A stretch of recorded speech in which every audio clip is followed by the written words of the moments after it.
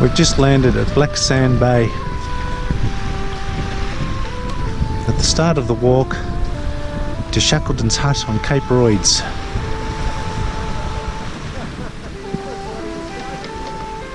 It's up that ice slope and off about a couple of kilometres.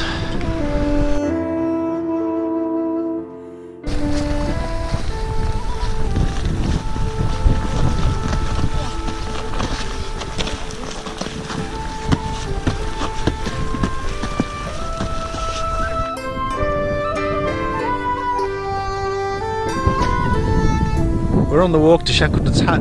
Shackleton's hut is a few hundred metres down below me on Cape Royds. The most amazing thing has happened after all this time. The fog and cloud has finally lifted from Mount Erebus. And I certainly hope you can see it behind me.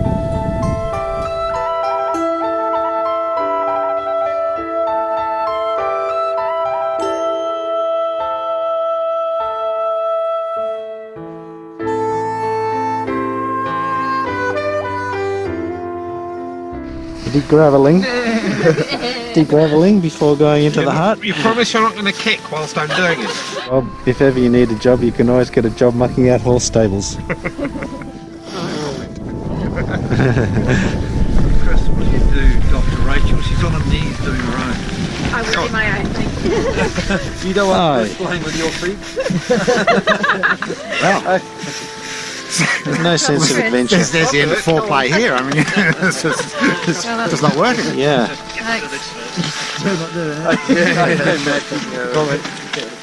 Right, stand against that.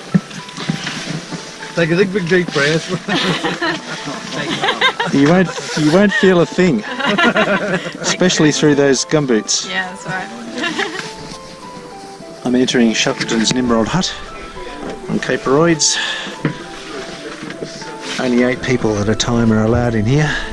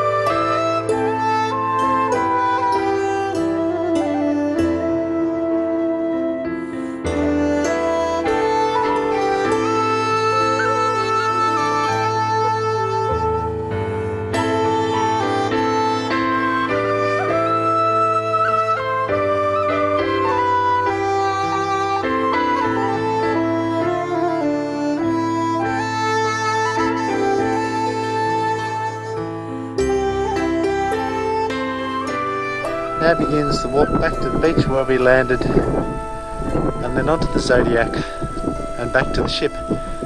Getting quite late in the day now, although the sun doesn't set till after midnight. It does start to get very cold. The ship is uh, coming in to pick us up. It's too deep to anchor here, so the ship has been floating around all day waiting for us to come back. This is absolutely one of the highlights of any visit to Antarctica. Ross Island is the location of Mount Erebus, of the famous plane crash, which of course is also an active volcano, but it wasn't active today. No smoke, unfortunately. And of course, the site of Sir Ernest Shackleton's Nimrod hut from the heroic days of Antarctic exploration in the early 1900s. Now, if I'm going to get all the way down here without uh, falling flat on my face, I'm going to have to put this away.